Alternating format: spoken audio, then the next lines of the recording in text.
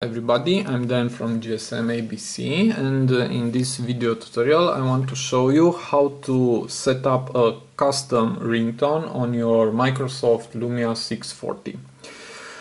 Um, I make this tutorial because there are many people who don't know how to set up a ringtone on uh, Windows uh, Lumia phones because uh, these uh, phones came with uh, the ringtones uh, from uh, the Microsoft and Nokia and uh, it's a little bit harder to change these ringtones. Okay, if you go to the settings and go to the personalization, here is ringtones and sounds okay click on ringtone. Now the ringtone it's pure. Okay you see we have here uh, Windows phones. Okay and we scroll down. We have Microsoft ringtones but uh, you can't put your own ringtone.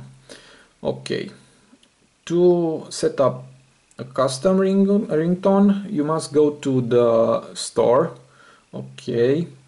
Uh, of course you must have an uh, Microsoft account. If you don't have an account you can uh, download uh, any application.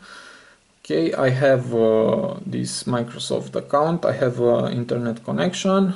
Okay and click to the search bar and uh, I write here ringtone okay maker.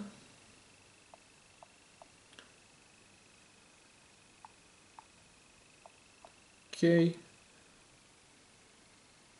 And this is my application. It's made by Microsoft Mobile. Okay click on application and click install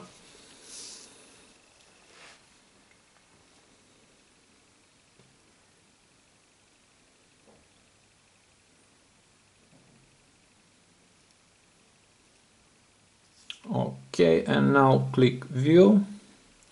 And here is my application. Okay click on the ringtone. And uh, here we have pick a sound. Okay click on and now I choose my own uh, ringtone. These uh, uh, songs are in my micro SD card okay and I click this. Okay let's see how it sounds. Okay and click save. You can uh, choose make this my ringtone or I choose later. Okay I choose later.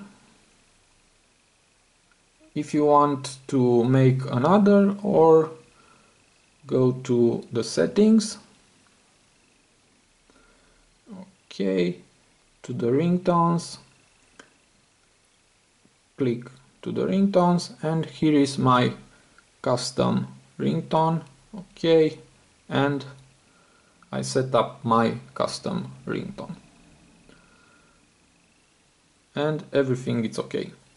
I hope you enjoyed this tutorial and uh, I hope uh, this is uh, uh, useful for for you. And uh, please subscribe if you want to see more tutorials